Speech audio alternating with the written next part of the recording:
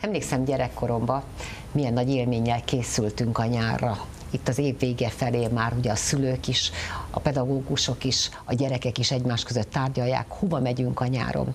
Annak idején egyszerűbb volt egy kicsit, most egyre nehezebb a gyermekeknek a nyári elhelyezése. Ebben segítenek a kerületi napközis táborok, amelyek nem is olyan rosszak, mint ahogy azt nagyon sokan gondolják. Sőt, azok a gyerekek, akik egyszer kipróbálták már, úgy gondolják, jó lenne, hogyha a nyarat végig napközis táborba lehetne tölteni. No, ez költői túlzás volt, de hogy miért jó a napközis tábor, és miért nem kell elkeseredni, erről fogunk Visontai Erikával beszélni. Szeretettel köszöntelek, aki a kerületi, a Terézvárosi napközis tábornak a vezetője, és a Derkovics Gyula általános iskolának a pedagógusa. Második évedet fogott kezdeni, mint napközis tábor vezető. Az első év tapasztalata azt hiszem, hogy nagyon sok mindenre rávilágított nálad. Kezdjük azzal, milyen lesz az idei napközis tábor. Hát azzal kezdeném, hogy tavaly abban a szerencsés helyzetben voltam, hogy még a kolléganőm Győri Ani készítette elő a tábort. Most ez a feladat már rám hárult, és bizony érzem ennek a terhét, mert körülbelül egy hónapja próbáljuk előkészíteni a tábort. Remélem, hogy sikeres lesz. Én azt gondolom, hogy legalább olyan jó lesz, mint a tavalyi. Igyekszünk még egy picit színesíteni, olyan programokat is kitalálni, amiben még annyira nem láttam bele, és még tavaly nem tudtam megszervezni. Nos, Győri Ani nagyon sok éven keresztül vitte tényleg nagyon jól a napközis tábort. Azonban azt gondolom, hogy minden táborvezetőnek megvannak a maga elképzelései természetesen, és hogyha még anyagi keret is van hozzá, akkor nagyon sok mindent meg lehet valósítani, hiszen ezért valljuk meg, vannak nagyon jó pedagógusok, vannak nagyon jó programok, vannak nagyon jó gyerekanyagunk, de hogyha nincsen mögötte egy financiális háttér, akkor nagyon-nagyon nehéz jókat alkotni. Honnan kapjátok az anyagi forrásotokat? Ez most a klikhez tartozik, vagy a kerülethez tartozik, vagy az ötvös tízhez tartozik, szóval egyáltalán ki finanszírozza a napközis tábort és hogyan? Hát az ötvös tíz elsősorban is, ők nyilván az önkormányzattól kapják a támogatást. Nagyon-nagyon szép támogatást kaptunk idén is. Azt gondolom, hogy bőségesen tervezhetünk külső programokra, pénzes programokra. Persze ez nem azt jelenti, hogy az utolsó filérig elköltjük ezt a keretet, igyekszünk spórolni egy picikét, és sok olyan programot is megfogunk, ami ingyenes lehetőség. Mi a tapasztalat? A gyerekek hány hetet töltenek napközis táborban? Gondolom az évekről visszate, vagy évekre visszatekintve azért lehet következtetni. Ez annál is inkább érdekes, mert lehetnek visszatérő programok, tehát mit tudom én, kétszer-háromszor elmenni az állatkertbe, most csak ezt az egyet mondom, vagy egy múzeumba. Tehát vannak olyan gyerekek, akik nagy biztonsággal az egész nyarat napközis táborban töltik, mert a szülők nem tudnak más csinálni. Hogyan képzeljem én el ezt, illetve a többiek, a kedves szülők és a nézők? Pontosan így, nagyon sok olyan kisgyerekünk és nagyobb gyerekünk van, mert általános iskolás gyerekekről beszélünk, elsősorban a kerületben lakó, élő, tanuló gyerekekről van szó. Sok közülük ezt a kilenc hetet itt tölti végig. Valóban fölmerül a kérdés, hogy tavaly, tavaly előtt ugyanazokon a programokon vettek részt, vajon mennyire tudunk nekik újdonsággal szolgálni. Ezért igyekszünk idén is újabb programokat kitalálni, és a téma heteken mindig egy picit változtatni. Ugye most nagyon-nagyon könnyű dolgunk van, mert tele vagyunk nevezetes sporteseményekkel, úgyhogy e köré csoportosítjuk majd a nyári programjaink egy részét is. Téma hét, jól értettem én ezt? Igen. Mit Pontosítanék nem is téma hét, hanem téma Időszak? Három hét időszak, így van. Az első három hétnek az lesz a neve, hogy a varázslatos labda, Hát ezt azt hiszem könnyű kitalálni, hogy az Európa Bajnokság foci EB miatt találtuk ezt ki. A következő etapnak az lesz a neve, egy egészséges táplálkozás, mert hogy ez nagyon-nagyon fontos, eleve az egészséges életmód, és a harmadik pedig tábori olimpia, mert hogy akkor már ugye az olimpiára készülünk. A helyszínt hogyan kell elképzelni? A mi iskolánk nagyon-nagyon jó adottságokkal rendelkezik. Gyönyörű szép udvarunk van, első, hátsó udvarunk, nagy tornatermünk, sportpályánk, olyan helyek, alaksor, és termek, amiket a gyerekek használhatnak, gyönyörű az ebédlőnk is, úgyhogy azt hiszem, hogy ennél ideálisabb bázis helyet nem is lehet neki találni. Hány gyerekre számítotok ebben az évben? Ö, hát 100, 150, 160 gyerekre körülbelül ez attól függ, hogy Tehát heti beszél. 150 gyerekről így van, így van. van olyan, volt olyan hetünk tavaly is, amikor 150-160 gyerekünk volt, és volt olyan hetünk, amikor egy picit kevesebb. De olyan nagyon sokkal nem kell sokkal kevesebb nem. gyerek. Átlagosan számolni. 120 gyerek fordult meg egy héten. Az előbb már érintettük, hogy van olyan kisgyermek, aki a 9 hetet napközis táborba tölti, azért azt gondolom, hogy ez nagyon-nagyon sok egy gyermeknek, hiszen iskolából iskolába, bármennyire tábor, tábor azért mégiscsak mégiscsak pedagógus felügyelete alatt van, és ugyanabban a közegben, mint amiben egész évben jár. Hány ilyen gyerek van, aki, akinek nem tudják megoldani a szülei, hogy akár nagymamához, akár akár valamilyen külső táborba elküldjék Hát én most azt gondolnám, hogy 50-60 gyerek biztos. Azért az nagyon nagy szám. Igen. És ugye tavaly is elmondtam, hogy ebbe az a nehézség még, hogy mi azt nem tudjuk biztosítani, amit otthon biztosítanak a gyerekeknek. Ilyenkor, amikor jön a vakáció, én tudom, annak idején én is gyerekkoromban imádtam egész nap pizsamába járkálni, nem kellett fölkelni, sokáig fönnmaradhattam. Ez az élmény talán nekik kimarad, pedig erre is nagyon nagy szükségük lenne. Na most akkor nézzük meg, hogy hány órára kell beérkezni, mert itt elhangzott egy, egy kulcs szó, pizsamába maradtam, nem kell korán fölkelni. Hogyan Igen. lehet elképzelni a nap, napközis tábornak a beosztását, mennyire rugalmas? Bizonyos szempontból rugalmas, bizonyos szempontból viszont nem tudunk mindenkihez alkalmazkodni. Fél hétre érkezhetnek a gyerekek, reggeli ügyelet, fél héttől fél nyolcig, ugye akkor ezt elképzeljük, hogy van is olyan gyerek, aki akkorra érkezik, mert a szülők úgy dolgoznak 8-tól fél 9-ig, 9-ig reggeliznek, és 9-től kezdődnek a délelőtti programok, amik általában csoportfoglalkozások, illetve esetleg kimenős program, majd ebéd 12 és 2 között, esetleg fél három között, utána jönnek a délutáni programok, azok is általában kintiek, és 4-től 5-ig biztosítunk még ügyeletet a gyerekeknek. Most ugye említetted, hogy fél hét és fél nyolc között érkeznek be a gyerekek, tehát akkor gyakorlatilag egy szemelnyit sem tudnak több időt otthon tölteni reggel, mint amikor iskolába érkeznének. Hogyha megoldható, akkor bemehetnek mondjuk 9 óráig, vagy be kell érkezni reggel? Az a programtól függ. Általában van, akik fél kilenc körül érkezik, tehát vannak olyan gyerekek, főleg a nagyobb gyerekek, vagy ahol esetleg a nagyobb testvér kíséri a kisebbet, itt megoldható, de ugye a kisgyerekeknél elég kötött ez a dolog. Azért mondom, hogy általában 9 órakor kezdődnek a programok. Az egyik ilyen kivétel, amikor egész napos kirándulásra, buszos kirándulásra mennek a gyerekek. Mert akkor korábban mert akkor kicsit lenni. korábban. Akkor előtte ugye muszáj, hogy megreggelizzenek. Igen. Úgyhogy ennyivel korábban kell érkezniük strand és ilyen típusú programok megadatnak-e a gyermekeknek, és azt hogyan oldjátok meg? De azt hiszem, hogy nagyon meleg nyárnak nézünk elébe, legalábbis a jóslatok ezt ö, mondták. Bajza utcai uszodát, tanuszodát használhatjuk július végéig. Reméljük, hogy a felújítás sem akadályozza majd ezt. Igen, igen, igen, mert azért, de reméljük, mert ígéretet kaptunk. És az augusztusi hónapban pedig strandra tudjuk vinni a gyerekeket. Általában megegyezés kérdése, ott is próbálunk egyezkedni a strandokkal, hogy minél olcsóbban tudjunk gyerekeket odavinni. Tavaly például a Pascal strandot tudtuk használni, de szóba jöhet esetleg a Dagály vagy a római, meglátjuk.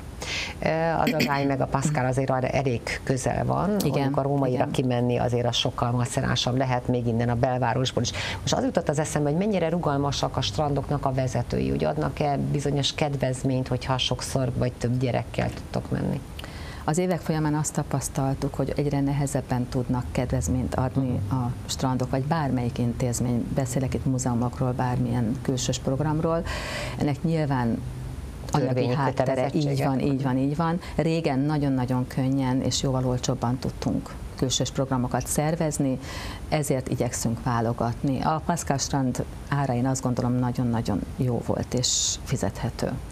Na most a strandra egyszerre megy akkor az egész tábor, vagy pedig csoportonként osztjátok, Csoporton, vagy melyik? Csoportonként lesznek olyan programjaink, amin az egész tábor részt vesz, az általában benti program lesz, tehát tervezünk minden héten legalább egy ilyen központi programot. Egyébként az összes többi programot úgy kell elképzelni, hogy két-három csoport fog össze és mennek el egy-egy programra. Hány pedagógus fog a napközis tábor munkájában részt venni, és direkt így fogalmazom, hogy nem, hogy nem dolgozni.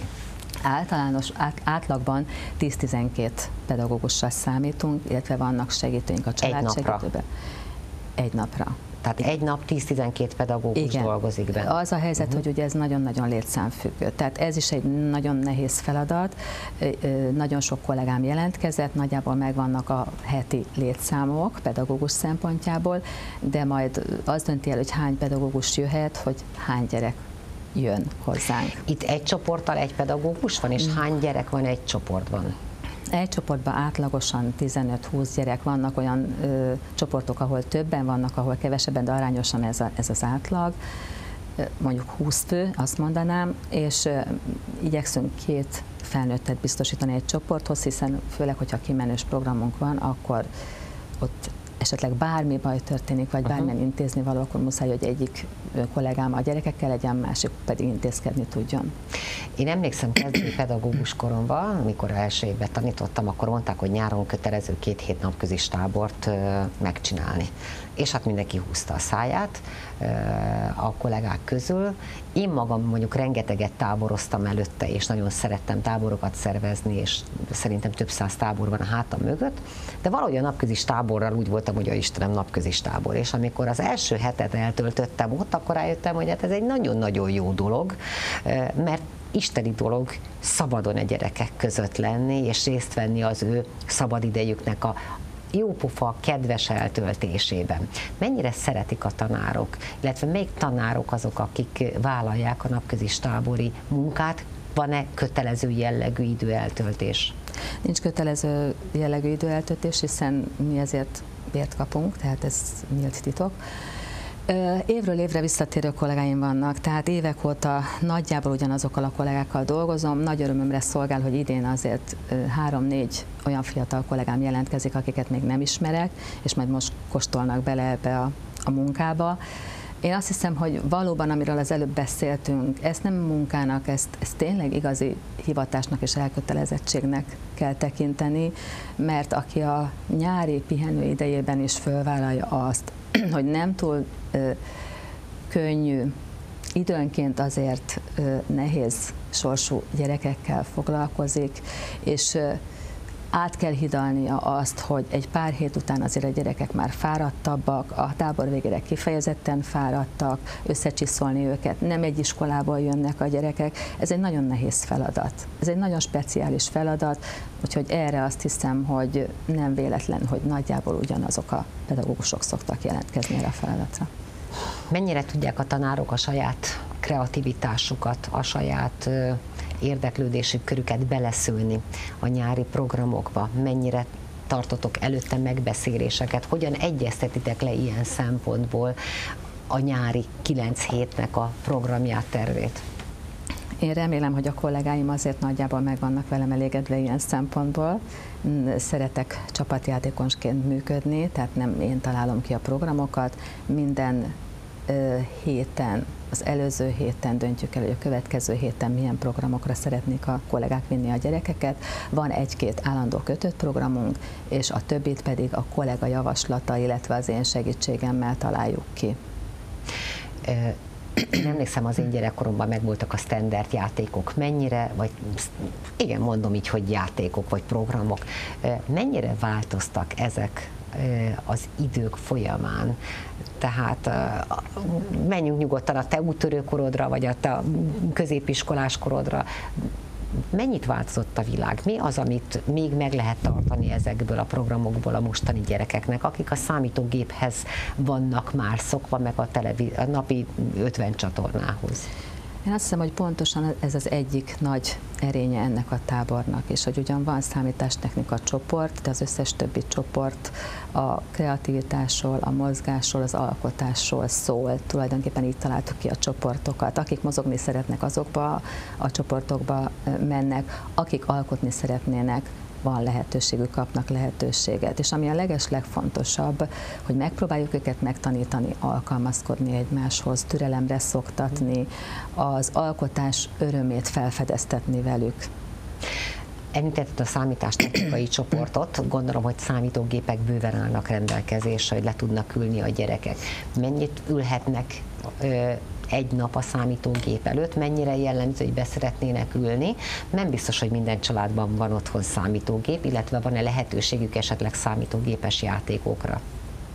Hát igen, így építjük föl ezt a számítástechnika csoportos programot, hogy elsősorban is játszhatnak, illetve a tanár kollega egy-két ismeretet azért nyújt nekik, nagyon-nagyon szeretnének beülni eléggé korlátozzuk. Ugye általában azt mondjuk, hogy a csoportfoglalkozások napi egy-másfél órát tesznek ki, és próbálunk ennek megfelelni. Tehát De ennél akkor... többet nem ülnek a számítógép előtt. Hány a... számítógépetek van egyébként ilyenkor? Hát ez jó kérdés, talán 8-10. Tehát akkor egy fél csoport 12. Igen, egyszerre. általában kis csoport, uh-huh. tehát úgy kell elképzelni, hogy a számítástechnika csoportban azért 20 De az nem egy csoport, hanem mindig vált, hogy a többi, tehát a, hogy akinek esetleg otthon nincs most, vagy van egy van, speciális, van egy speciális csoport, Aha. mint ahogy minden csoportnak megvan a maga érdeklődési köre. És akkor a szülő azt mondja, hogy én a számítástechnikai így csoportba van, szeretném, van, én a sportcsoportba szeretném iratni így a gyereket. Van, pontosan. Aha. Tehát ez olyan, mint amikor tenisztáborba megyek, úszótáborba megyek, Igen. stb. Uh-huh. Az a különbség különbség, hogy ennyire nem speciális, tehát azért mondtam, hogy körülbelül napi másfél mondhatom akkor, hogy két óra hosszát töltenek ezzel a szakcsoportos foglalkozással, uh-huh. és az összes többi időt pedig az egyéb közös tábori foglalkozással töltik, tehát ez azt jelenti, hogy van úszócsoportunk, akik minden nap járnak úszni, uh-huh. de utána délután, meg a többi időben más programra mennek, jelentkezhetnek, és ugyanígy a számítástechnikusok, illetve a focisták, a kézművesek is eljárhatnak az uszodába, van lehetőségük, úgyhogy keverjük a programokat. Van-e pihenési elnyúlási lehetőségük? Pléd, lefekszem, piknikelek, van-e kiságy, kempingágy, amire el lehet dőlni? Tehát hmm. mennyire tudnak henyélni, egy picit kikapcsolni hát a gyerekek? Ez jó kérdés, amikor nagyon meleg van mindenképpen, adunk erre lehetőséget. Tehát, hogy mennyire tudnak egy picit szabadon lenni, hogy nem mindig Igen. az legyen, most ezt kell csinálnod, most ezt kell Igen, csinálni. azért vannak uh-huh. ilyen, vannak ilyen félnapok, van, van két-három óra hossza, főleg ebédidő körül, ebédidő előtt, ebédidő után programok között. Nem beszélve arról, hogy ha a csoportvezető úgy látja, hogy nagyon fáradt a csoport, akkor esetleg el is hagyhatja aznapra azt a kimenős programot, uh-huh. vagy esetleg a tervezett programot, tehát tudunk azért a gyerekek állapotához alkalmazkodni.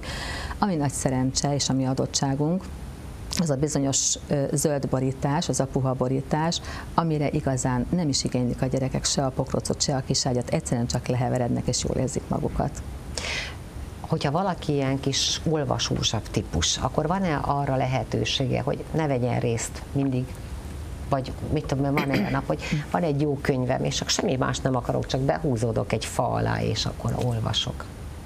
Tehát mennyire tudnak Igen. A saját kis önálló világukba ellenni, pláne azok, akik egész nyáron ott vannak. Azért azt kell mondjam, hogy korlátozott, de a kollégák nagyon-nagyon toleránsak egymással, és hogyha azt látjuk, hogy egy-egy kis gyerek most nem alkalmas arra, hogy elmenjen, vagy nincs kedve, akkor olyat is szoktunk csinálni, hogy egyik csoportból a másikba átadjuk uh-huh. a gyermeket és akkor ott lehet aznap. Akiknek kicsit nyugodtabb a programja, nem elutazós, nem kimenős, azt azért nem állítanám, hogy az egész napot tudjuk a kisgyereknek biztosítani erre az elbújásra, meg elhúzódásra, de merem remélni, hogy tudunk olyan programokat biztosítani nekik, hogy valami, valamit ki tud választani az aznapi programokból is. Intetek már, hogy kevés az idő, de még két kérdés Jó. muszáj vagyok föltenni. Ugye most az EB van, aztán utána készülünk az olimpiára. Mennyi tévénézési lehetőség lesz? Lehet együtt szurkolni, meccseket nézni a gyerekeknek együtt, és be van ez építve, hiszen hogyha már olimpia, meg ha már EB, akkor ugye nagyon sokan kívánnák, hogy hát akkor hagyd nézzük. Igen, hát ha jól tudom, akkor az foci EB-t azért nem nézzük együtt, mert azok a meccsek esténként lesznek, legalábbis most kezdetben biztosan, tehát azt a családi körben fogják nézni a gyerekek. Az olimpiai közvetítésekből pedig azt gondolom, hogy fókuszálunk majd a magyar versenyszámokra, és megpróbálunk abból egy-egy versenyszámot, illetve izgalmas mérkőzést megtekinteni, megnézni, tehát erre lesz lehetőség. Egyébként ilyen közös tévézés vagy DVD nézés szokott lenni? Ha rossz az idő, ha akkor, rossz vagy hogyha nagyon-nagyon meleg van, és leszeretnének húzódni egy picikét a légkondicionált alaksorba, akkor lehet. Étkezés. Hányszor kapnak enni? Kell-e, hogy otthon reggelizzenek? Nem kell-e? Nem, napi háromszor étkezést biztosítunk a gyerekeknek, reggeli, ebéd és uzsonna, ezt minden nap megkapják, és a napi díj azoknak, akik nem ingyenesek, vagy nem rászorultak, 441 forint. Azt hiszem, hogy azt azért ki lehet bírni. Uh-huh. Hát nagyon jó nyarat kívánok. Köszönöm szépen. Viszont. Köszönjük szépen. Köszönjük.